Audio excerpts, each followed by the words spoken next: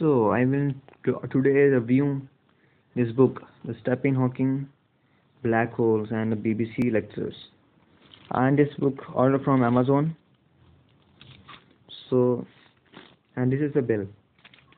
Uh, the book is only 90 rupees and uh, there is only 8 rupees shipping charges so it's 98 rupees this book is so good this book is written by David Shukman and uh, daily experience and many things.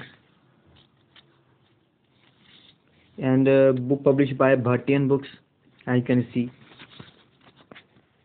There's only two topics how the black holes have an, no hair and black hole is in a black and it's all painted.